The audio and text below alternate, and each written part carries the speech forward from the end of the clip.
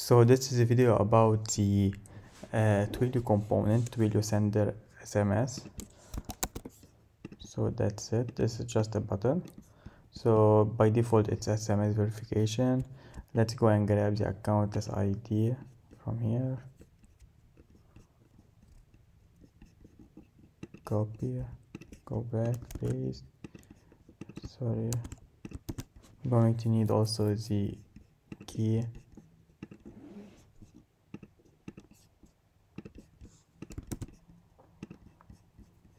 we're going to need also the phone number which is here. Two phone number. I'm gonna just write my my phone number. Uh, th this way this is a variable it's a code variable so you can write the code wherever you want in your message. You can customize it as you like as you want. So which input would like to verify?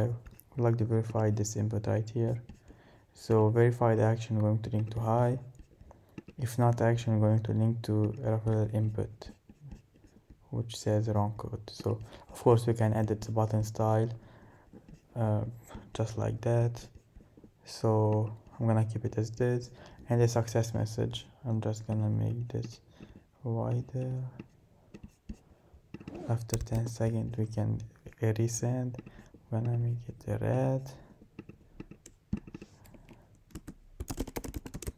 here so let's go test it.